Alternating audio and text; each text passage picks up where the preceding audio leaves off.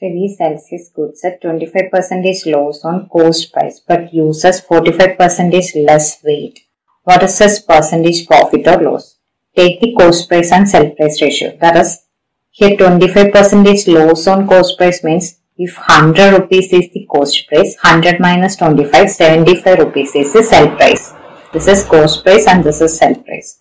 Now, to gain profit, he uses 45% less weight which means when customer asking for 100 kg, he give 45% less weight. That is, he only give 55 kilogram.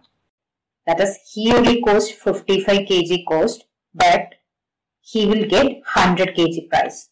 That is, customer will pay for 100 kilogram cost, but he only give 55 kilogram. So, he only cost 55 kilogram cost.